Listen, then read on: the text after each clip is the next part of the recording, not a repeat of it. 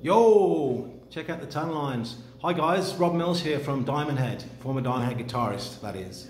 Um, just wanted to turn you on to this. Uh, Steve Vai, I was always a massive Steve Vai fan, uh, growing up learning to play the guitar. He has some great uh, technical exercises and much more than that, ear training, all that kind of. A lot of the stuff that I do when I teach is the Steve Vai kind of recommended stuff.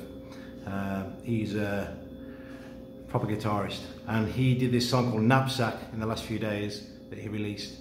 And he basically, because he heard his uh, his, his, his strumming hand, his picking hand, uh, somehow, he uh, decided to write this song where he's just playing totally with his left hand.